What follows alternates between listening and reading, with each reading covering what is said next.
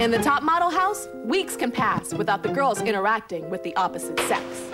So, So when model and actor Tyson Beckford paid the girls a visit to teach them about being a spokesmodel, I would really, seriously, really hurry up. the girls had a new focus for their male fantasies.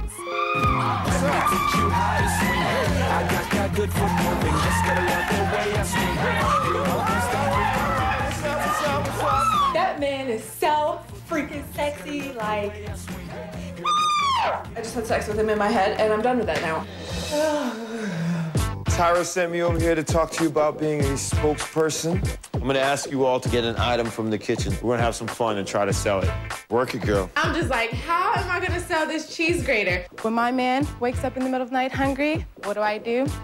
I make him a grilled cheese sandwich. Ooh, mama, that's nice. He is just chocolatey and sexy. All right, who's next?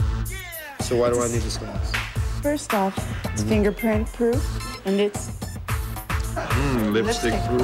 Ooh, I like that. I don't know why, but I have this sudden fascination with men's arms. It was so big. He's